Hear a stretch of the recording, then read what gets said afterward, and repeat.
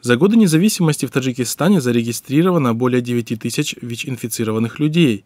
Причем, как сообщают специалисты, данная цифра растет.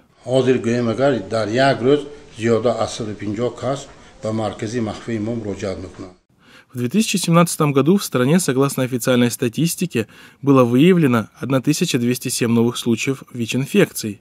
С января по март 2018 года выявлен 321 новый случай ВИЧ. Кроме того, и растет количество людей, которые умышленно заражают других путем совершения прелюбодеяния. Так, например, МВД Таджикистана сообщила о ранее задержании 31-летнего жителя Душанбе, который умышленно заразил 30-летнюю местную жительницу.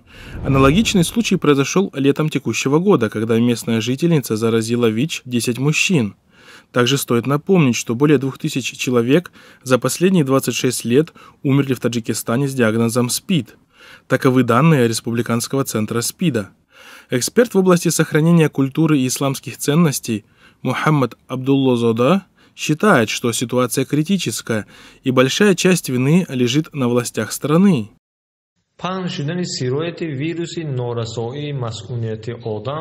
Распространение в таджикском обществе ВИЧ-инфекции – это результат политики нынешних властей, которые целенаправленно уничтожают многовековую исламскую культуру и ценности таджикского народа под предлогом борьбы с экстремизмом и терроризмом, а взамен активно распространяют чуждую и порочную западную культуру, что неизбежно приводит к потере обществом нравственных ориентиров, сообщил по телефону корреспонденту Хабархо Абдулло Зада.